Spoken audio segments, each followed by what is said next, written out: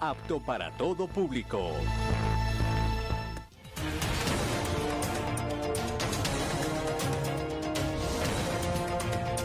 Noticiero Ciudadano.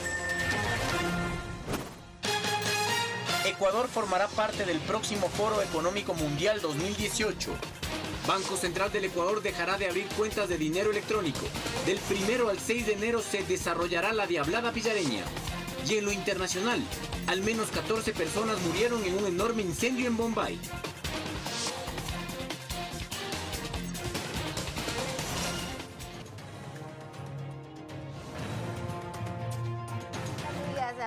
Muy buenas tardes. Gracias por estar con nosotros en el Noticiero Ciudadano Edición Central.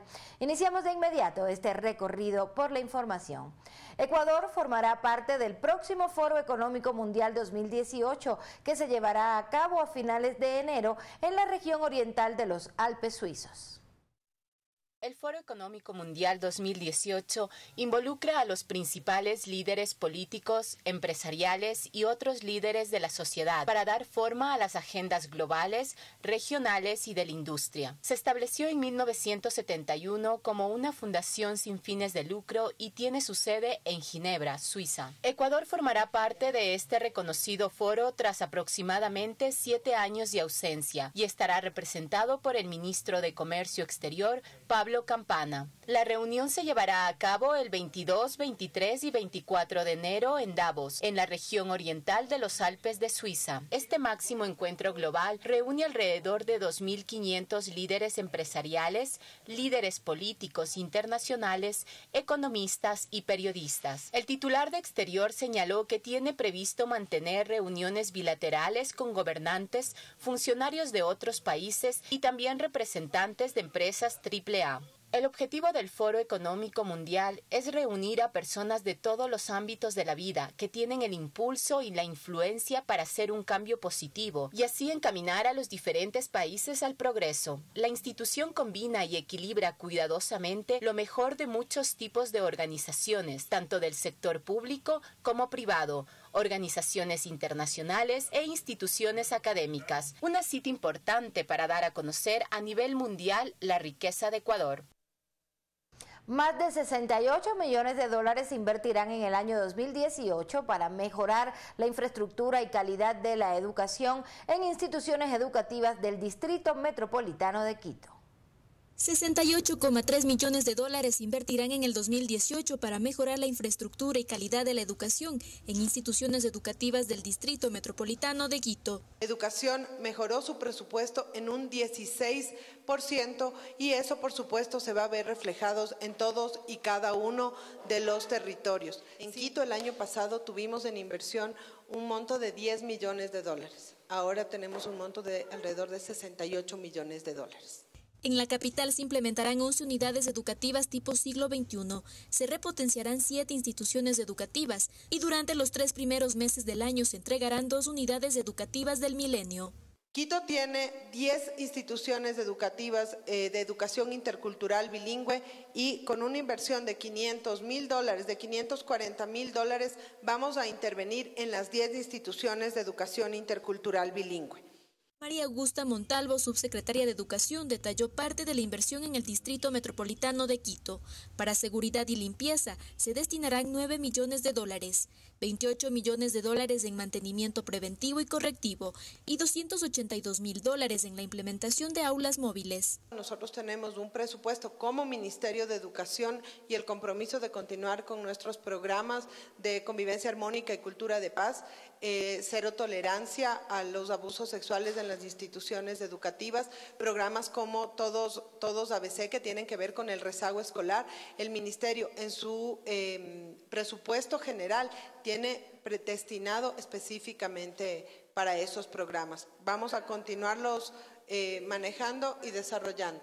A nivel nacional, el Ministerio de Educación invertirá 422 millones de dólares para la construcción de 229 instituciones educativas, beneficiando a 310 mil niños, niñas y adolescentes. Catarina Morejón, Noticiero Ciudadano. El Banco Central del Ecuador dejará de abrir cuentas de dinero electrónico. La entidad iniciará un proceso de transición de manera ordenada al sistema financiero nacional. Luego de que la Asamblea Nacional se allanó al veto del Ejecutivo para que el sistema financiero nacional público, privado y popular y solidario maneje el dinero electrónico, la gerente del Banco Central del Ecuador, Verónica Artola, indicó que la entidad dejará de abrir cuentas de dinero electrónico. La normativa establece que el Banco Central deje de administrar de manera exclusiva dicho sistema para que sean los bancos y cooperativas del sector privado los autorizados para manejar los medios de pago electrónicos. La titular del central además señaló que el dinero electrónico ayudará a fortalecer la dolarización, ya que al demandar menos dinero físico existe menos presión en las reservas internacionales. Artola destacó que la institución a su cargo solo efectuará tareas de supervisión y controlará que las plataformas cumplan con estándares de calidad. Según datos del Banco Central, con corte al 10 de diciembre pasado, existen 406.724 cuentas de dinero electrónico abiertas en la entidad, las cuales hasta el 22 de diciembre pasado acumulaban un saldo total de 8.9 millones de dólares. Mediante un comunicado, el Banco Central informó que iniciará un proceso de transición que se realizará de manera transparente y ordenada. Mientras tanto, se garantiza el normal funcionamiento de las transacciones que se realicen con este medio de pagos.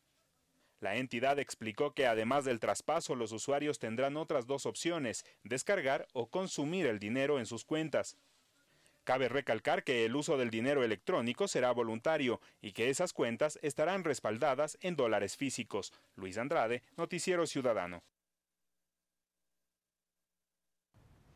La Corte de Florida revirtió el fallo de primera instancia en el juicio contra los hermanos Isaías.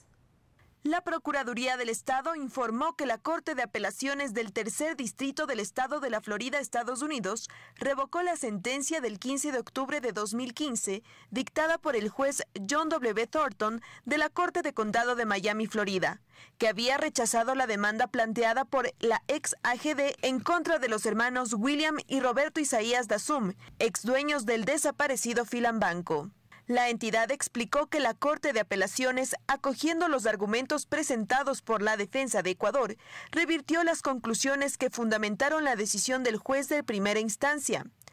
La entidad explicó que la Corte de Apelaciones, acogiendo los argumentos presentados por la defensa del Ecuador, revirtió las conclusiones que fundamentaron la decisión del juez de primera instancia, resolviendo en su lugar que el proceso vuelva a primera instancia únicamente para determinar los daños y perjuicios a favor del Estado ecuatoriano, en consideración a que, en aplicación de la doctrina de los actos de Estado, el Ecuador no está obligado a probar la responsabilidad de los hermanos Isaías con respecto a las pérdidas sufridas por Filan Banco.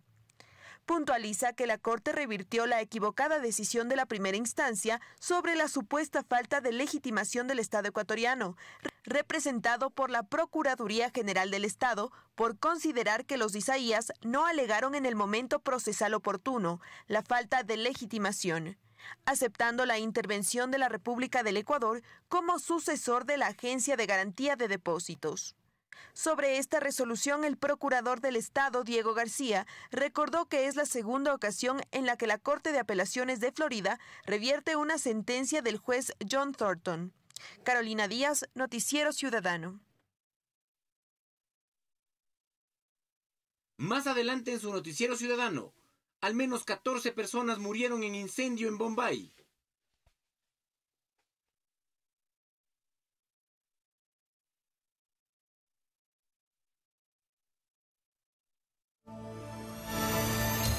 Inicio de espacio promocional.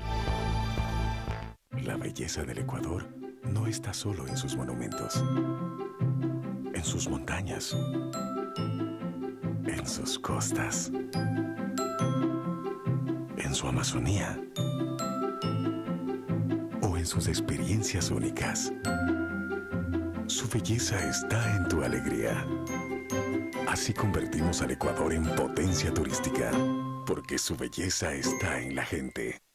Existe un lugar en el centro del mundo, Ecuador, donde un hermoso cielo azul escolta a gigantes de tierra cubiertos por glaciales milenarios y nieves perpetuas que son iluminadas por el intenso sol ecuatorial.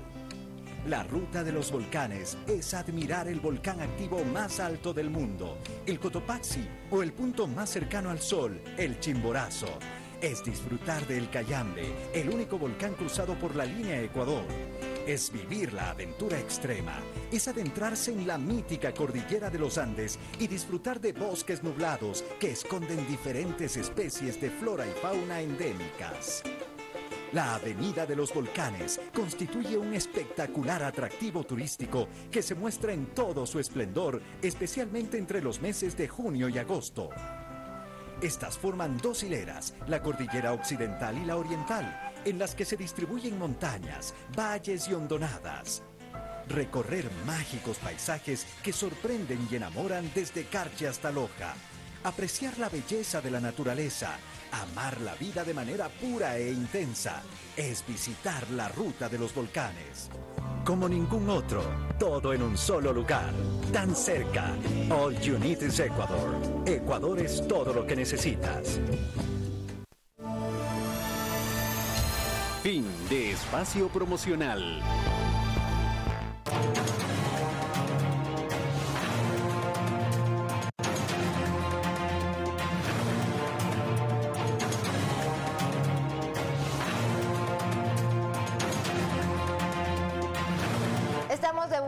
Les contamos que empresas internacionales realizarán una visita a la refinería del Pacífico para el 2018, buscando con esto lazos comerciales con el Ecuador. Representantes de empresas internacionales interesadas en invertir en la refinería del Pacífico llevarán a cabo una visita en la zona el 30 de enero de 2018. Entre ellas se encuentran Petrofac de Reino Unido, ConocoPhillips de Estados Unidos, Rosneft de Rusia y otras de Emiratos Árabes Unidos, Corea del Sur, Japón y China. Cada una de ellas contaría con un fondo de inversión. La empresa estadounidense tiene como posibles financistas a Blackstone y Goldman Sachs, empresas que nunca han vinieron al país por inversión. El ministro de Comercio Exterior, Pablo Campana, informó que con estas compañías se trabajará para formar un consorcio de empresas con un modelo de gestión atractivo de inversión privada directa, sin endeudamiento, para que sean socios de Petroecuador. Y en este contexto recalcó que 2018 será un año histórico en cuanto al volumen de inversiones. Se espera que el próximo año 640 empresas internacionales participen en las licitaciones públicas para proyectos en diferentes sectores productivos, como una planta de aluminio, agroindustrias, aeropuertos, entre otros. Por quinto año consecutivo, Ecuador participará en la feria más importante del turismo, FITUR. En este espacio, el país consolidará alianzas y establecerá estrategias que lo posicione como un destino líder para visitar. Ecuador, destino verde líder del mundo por quinto año consecutivo, vuelve con fuerza para promocionarse en la 38 edición de la Feria Internacional de Turismo FITUR, que se realizará en Madrid, España, del 17 al 21 de enero de 2018. Los productos turísticos de naturaleza, cultura, aventura y gastronomía que tiene Ecuador en sus cuatro mundos serán ofertados en la cita turística internacional, catalogada como una de las ferias turísticas más importantes del mundo.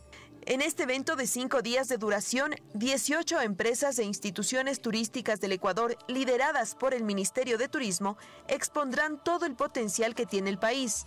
Además, tendrán la oportunidad de reunirse, establecer contactos, estrategias y alianzas empresariales, negociar y llevar a cabo actividades que permitan reforzar la promoción turística del país. El Ministerio de Turismo ha venido participando continuamente en esta feria por más de 15 años consecutivos, con resultados que reflejan la posición de España dentro del ranking de países emisores hacia el país. Actualmente ocupa el quinto lugar por detrás de Venezuela, Perú, Estados Unidos y Colombia. Carolina Díaz, Noticiero Ciudadano.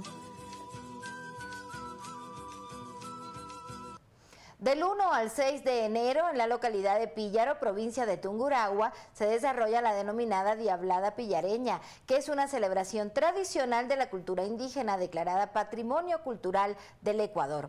Este es uno de los atractivos turísticos que usted puede disfrutar en este feriado de Año Nuevo.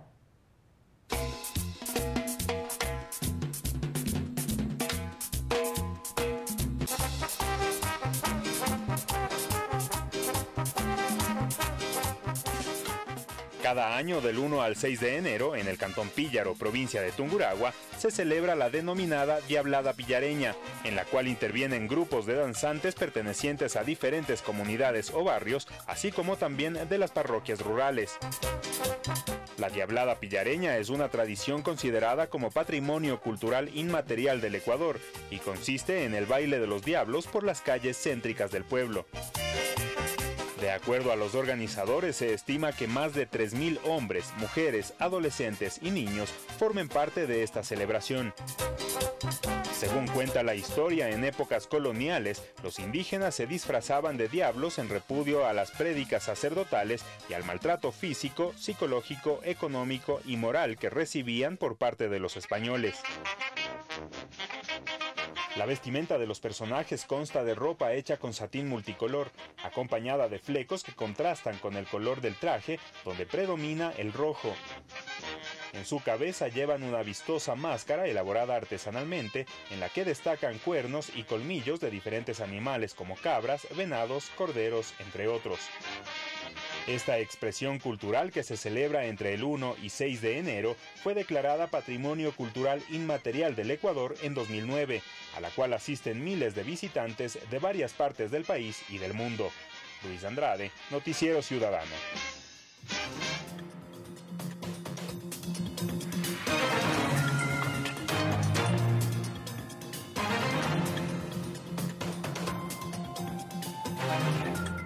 Al menos 14 personas murieron el jueves por la noche en un enorme incendio en Bombay. Esta y otras noticias en el resumen internacional. Al menos 14 personas murieron el jueves en un enorme incendio en un popular restaurante de Bombay. 11 de las víctimas eran mujeres jóvenes que festejaban un cumpleaños en la azotea del edificio, donde el fuego se originó poco después de medianoche. La mayoría de las muertes fue por asfixia, según los médicos que asistieron en el lugar. La policía informó que se inició una investigación que apunta hacia los propietarios del restaurante, situado en un complejo que alberga además tiendas y hoteles. Varios órganos de prensa cuentan con oficinas en el edificio y también fueron alcanzados por el fuego. Los incendios accidentales son frecuentes en India debido a las escasas normas de seguridad y la falta de controles. Hace unas semanas, 12 obreros murieron en un incendio mientras dormían.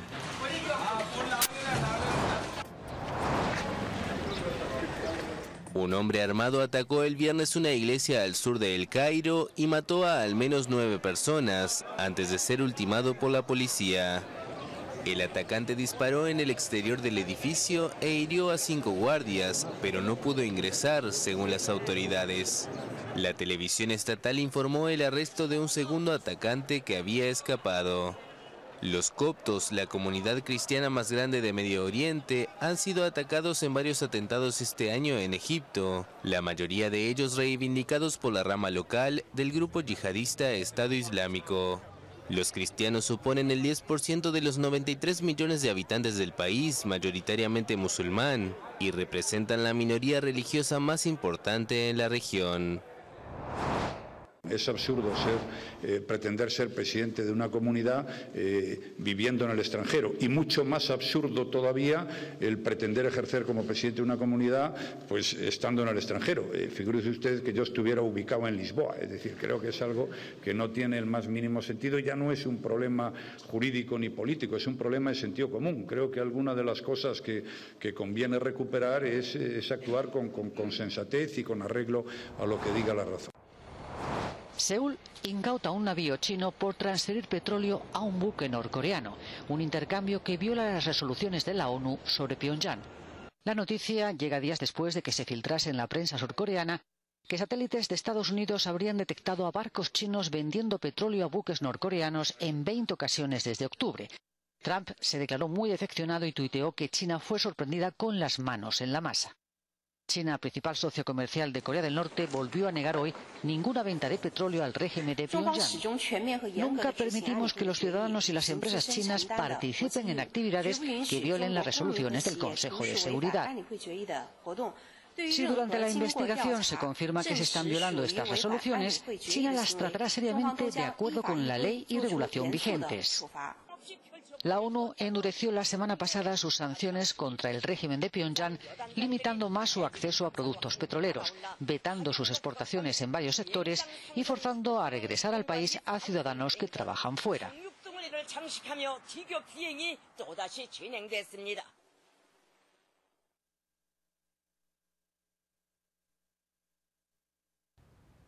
Y de vuelta al país, una de las tradiciones de los ecuatorianos es la quema de los monigotes. En la ciudad de Quito, los ciudadanos ya se preparan para recibir el año nuevo con alegría.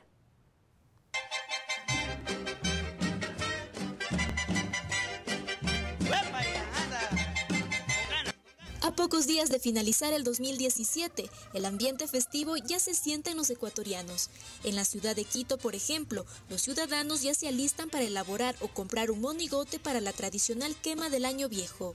Quemar el viejo y ya hasta el próximo año. Eh, hacer un monigote familia con ropa vieja y, no, no lo compro, normalmente siempre lo, lo confeccionamos en casa con familia y lo quemamos ahí en, familia. Primeramente estar en, compañía de mi familia, de mi madre, de mis sobrinos, mis hermanas.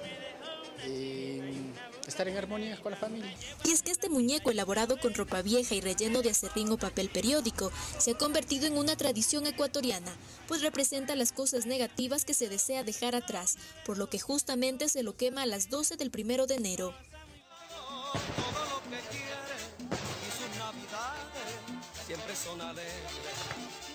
En el país esta fecha se celebra en familia y con los vecinos, tradición que comparte Fabricio Vela, periodista y conductor del programa de radio A Primera Hora, quien se une a los buenos deseos para todos los ecuatorianos en este 2018.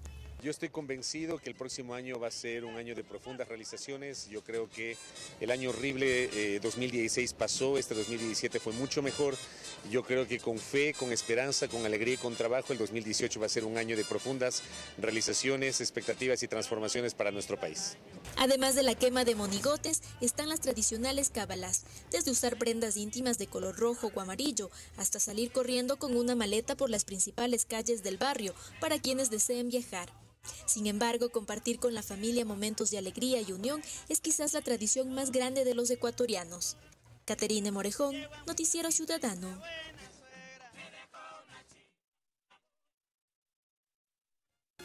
Y aquí concluye el Noticiero Ciudadano. Muchísimas gracias por habernos acompañado a lo largo de este año 2017. Por supuesto, les deseamos que festejen con mucha alegría y junto a la familia el año que termina y por supuesto que tengan un excelente 2018.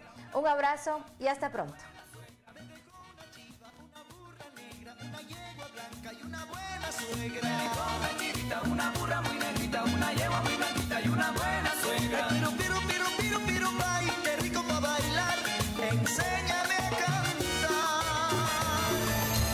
Inicio de espacio promocional.